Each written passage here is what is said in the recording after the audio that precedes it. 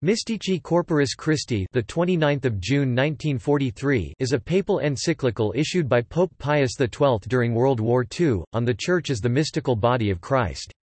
It is one of the more important encyclicals of Pope Pius XII because of its topic, the Church, and because its church concept was fully included in Lumen Gentium but also strongly debated during and after Vatican II.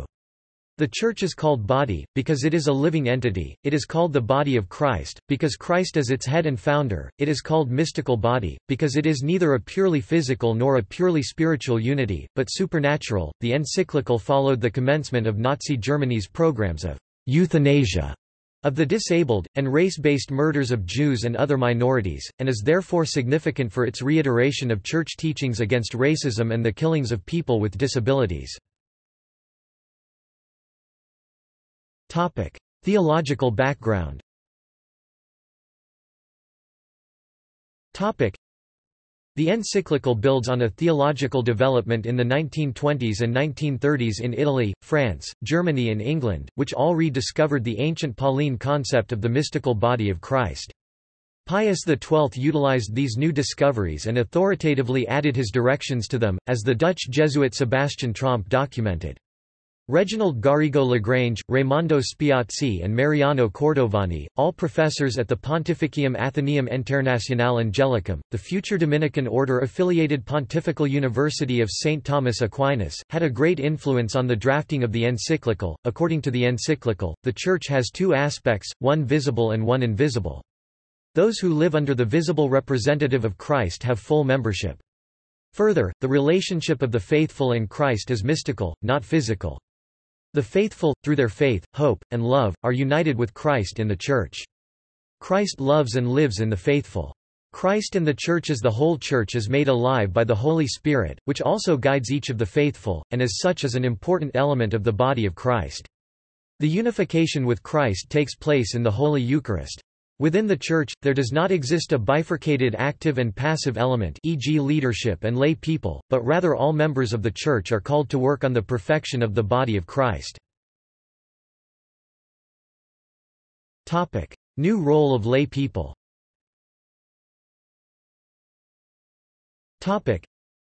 the encyclical teaches, that while lay people animate human society, the successors of the apostles the Catholic bishops are to be responsible in matters of religion and morals. Until this encyclical of Pius XII, Church was considered as societas perfecta, a perfect society, consisting primarily of pope, bishops, clergy and the religious. Mystici corporis includes lay people as equal and important elements of the body of Christ. The faithful are united with Christ in the Church. Christ loves and lives in them. Christ is alive through the Holy Spirit. Within the Church, there exist not an active and passive element, leadership and lay people. All members of the Church are called to work on the perfection of the body of Christ. Lay believers are in the front line of church life, for them the Church is the animating principle of human society. Therefore, they in particular ought to have an ever clearer consciousness not only of belonging to the Church, but of being the Church, that is to say, the community of the faithful on earth under the leadership of the Pope, the common head, and of the bishops in communion with him. They are the Church. Apostles and bishops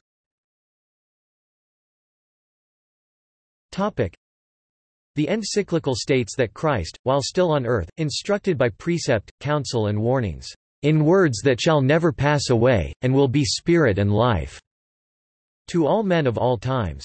He conferred a triple power on his apostles and their successors, to teach, to govern, to lead men to holiness, making this power, defined by special ordinances, rights and obligations, the fundamental law of the whole Church. God governs directly and guides personally the Church which he founded. Pius quoted Proverbs chapter 21 verse 1 noting that God reigns within the minds and hearts of men, and bends and subjects their wills to his good pleasure, even when rebellious. Mystici Corporis requests the faithful to love their church and to always see Christ in her, especially in the old and sick members. They must accustom themselves to see Christ himself in the church. For it is Christ who lives in his church, and through her, teaches, governs, and sanctifies, it is Christ also who manifests himself differently in different members of his society. If the faithful strive to live in a spirit of lively faith, they will not only pay due honor and reverence to the more exalted members Of this mystical body, especially those who according to Christ's mandate will have to render an account of our souls, but they will take to their hearts those members who are the object of our Saviour's special love, the weak, the wounded, and the sick who are in need of material or spiritual assistance, children whose innocence is so easily exposed to danger in these days, and finally the poor, in helping whom is recognized the very person of Jesus himself as a perfect model of love for the Church. Errors and condemnations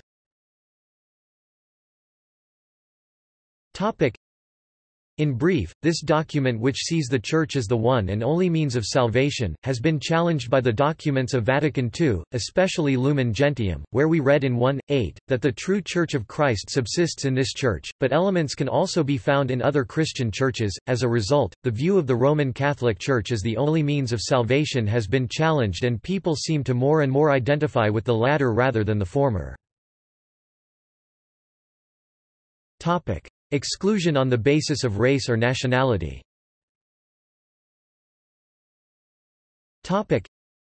And first of all let us imitate the breadth of his love. For the Church, the bride of Christ, is one, and yet so vast is the love of the divine spouse that it embraces in his bride the whole human race without exception. Our Savior shed his blood precisely in order that he might reconcile men to God through the cross, and might constrain them to unite in one body, however widely they may differ in nationality and race. True love of the Church, therefore, requires not only that we should be mutually solicitous one for another as members and sharing in their suffering but likewise that we should recognize in other men, although they are not yet joined to us in the body of the Church, our brothers in Christ according to the flesh, called, together with us, to the same eternal salvation. There are some who extol enmity, hatred and spite as if they enhanced the dignity and the worth of man. Let us, however, while we look with sorrow on the disastrous consequences of this teaching, follow our peaceful King who taught us to love not only those who are of a different nation or race, but even our enemies. While our heart overflows with the sweetness of the teaching of the Apostle of the Gentiles, we extol with him the length, and the breadth, and the height, and the depth of the charity of Christ, which neither diversity of race or customs can diminish, nor trackless wastes of the ocean weaken, nor wars, whether just or unjust, destroy. Topic. Murdering disabled people Topic.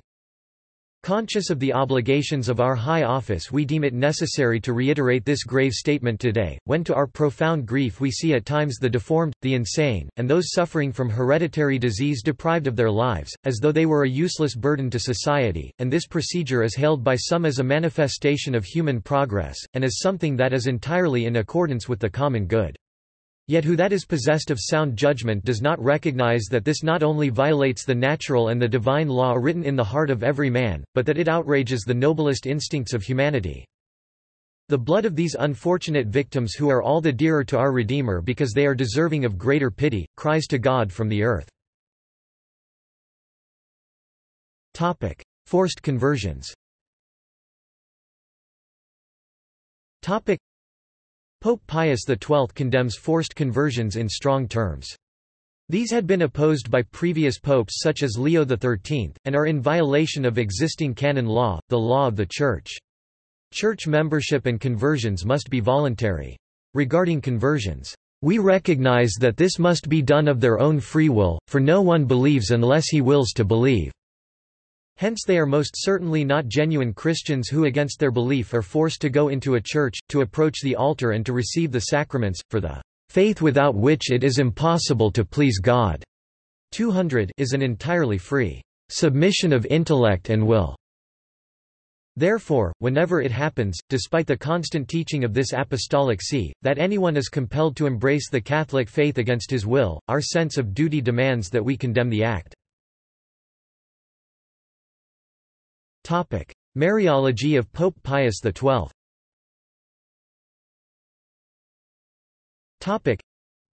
The encyclical concludes with a summary of the Mariology of the Pope. The 1854 dogma of the Immaculate Conception by Pius IX defined the Virgin conceived without sin, as the Mother of God and our Mother. Pope Pius XII built on this in Mystici Corporis, Mary, whose sinless soul was filled with the divine spirit of Jesus Christ above all other created souls, in the name of the whole human race, gave her consent. for a spiritual marriage between the Son of God and human nature, thus elevating human nature beyond the realm of the purely material. She who, according to the flesh, was the mother of our head, became mother of all his members.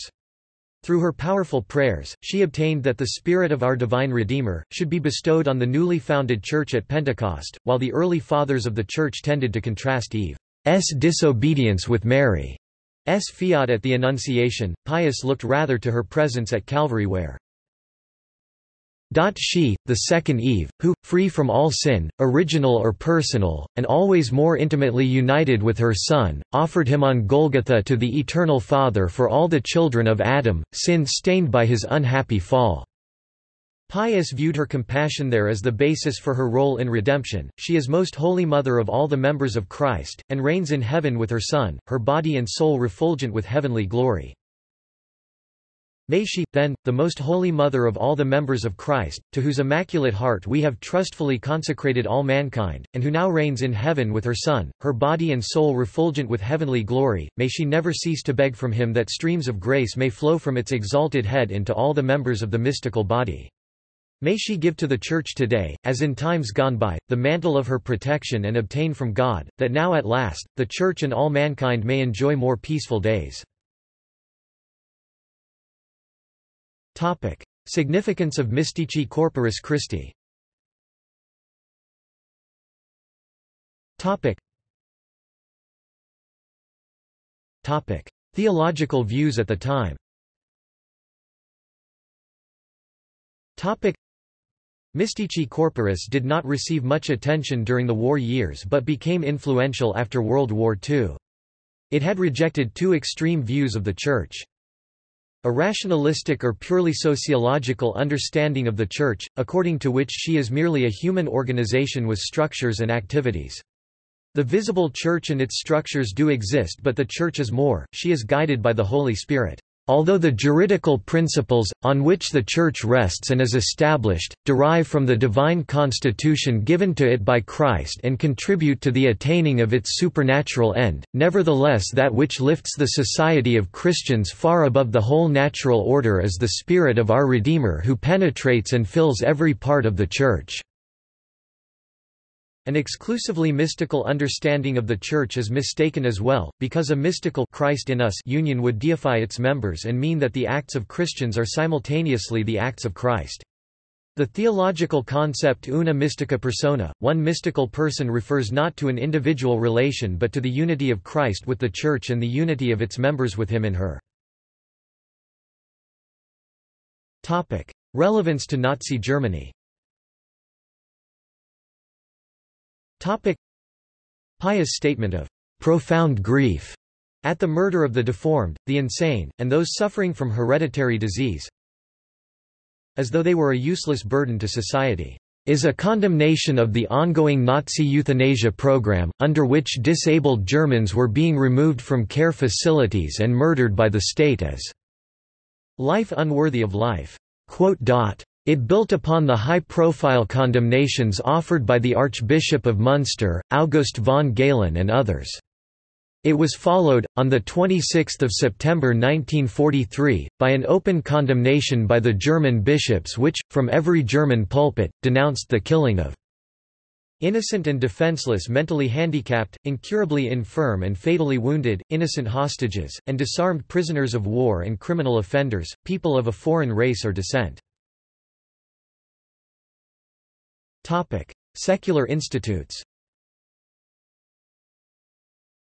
Topic: The new role of the laity resulted in the foundation of numerous secular institutes with faithful members of all walks of life.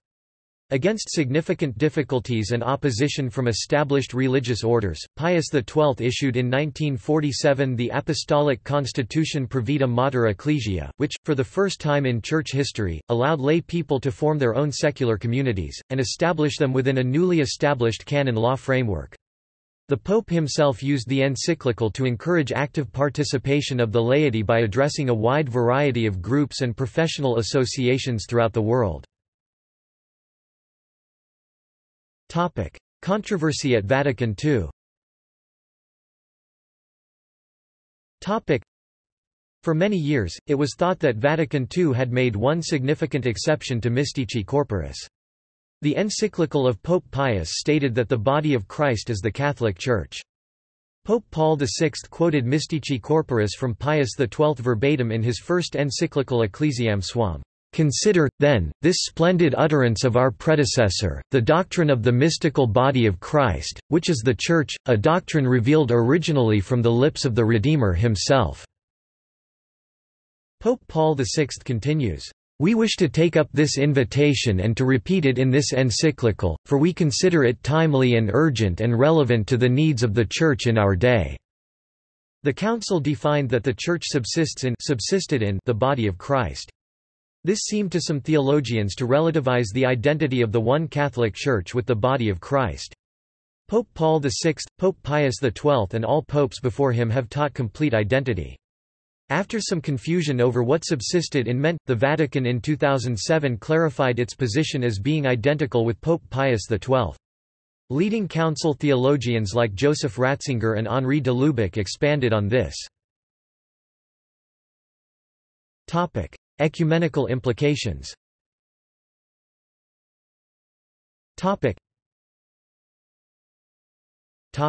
Protestantism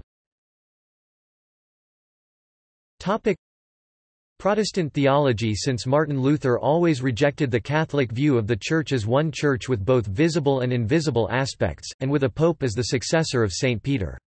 It employs instead the interpretation of the Bible as the sole source of Orthodox theology sola scriptura, yet its biblical interpretation of the mystical body is different from the Catholic Church's doctrine as stated in Mystici Corporis Christi. The Church receives all the graces from Christ its singular head prior to active participation. The doctrines of the mystical unity of the Catholic Church through engagement with the sacraments is thus rejected by most Protestants. However, Mystici Corporis uses a biblical base for its teaching, and thus contributed to ecumenical dialogue with Protestantism, while still reaffirming that the Catholic Church is the one true Church. As well, in recent years, some Protestant theologians have returned to the doctrine of the mystical body of Christ Afresh, often following the thought of Henri de Lubac in sympathetic fashion Milbank, Suspended Middle, 2005, Boersma, Sacramental Ontology, 2009, and others have embraced the doctrine in a way which examines its development over time, and the call to ecclesiastical unity that it issues Pecknold, Christianity and Politics, 2010. Eastern Orthodoxy the Eastern Orthodox churches share a tradition-based sacramental theology with the Catholic Church. Mystici Corporis, establishing equality of all apostles under the successor of Peter, instead of a supposed papalist Societas Perfecta, was viewed quite positively, even so, not all aspects were shared by all. Pope Pius recognized, and often criticized, an over-centralized papacy and related church laws and regulations, as an obstacle to relations with the Eastern Orthodox churches. After issuing Mystici Corporis, the Pope ordered a reform of the Cic Orientalis, the canon law for the Eastern Catholic Churches united with Rome. In its new constitutions, Eastern patriarchs were made much more autonomous with regard to Eastern marriage law, civil law, laws governing religious associations, property law and other laws. These reforms were intended to provide for more independence to the Eastern Catholic Churches, establishing them as equal within the mystical body of Christ and supplying a model for Eastern Orthodox churches if they decide to reunite with the Catholic Church. Highlights of the encyclical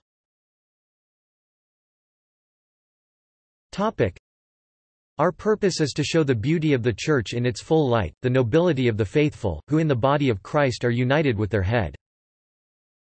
We are not ignorant of the fact that his profound truth, of our union with the divine Redeemer and in particular of the dwelling of the Holy Spirit in our souls, is shrouded in darkness by a veil that impedes our power to understand and explain it, both because of the hidden nature of the doctrine itself, and of the limitations of our human intellect. Christ did not wish to exclude sinners from his church, hence if some of her members are suffering from spiritual maladies, that is no reason why we should lessen our love for the church, but rather a reason why we should increase our devotion to her members. And if at times, there appears in the Church something that indicates the weakness of our human nature, it should not be attributed to her juridical constitution, but rather to that regrettable inclination to evil found in each individual, which its divine founder permits even at times in the highest members of his mystical body, for the purpose of testing the virtue of the shepherds no less than of the flocks, and that all may increase the merit of their Christian faith. See also Topic. List of encyclicals of Pope Pius XII Topic. Notes. Topic. Topic. References. Topic. Acta Apostolicae Sedis, 1943, p. 193 Encyclical Mystici Corporis Christi on the Vatican website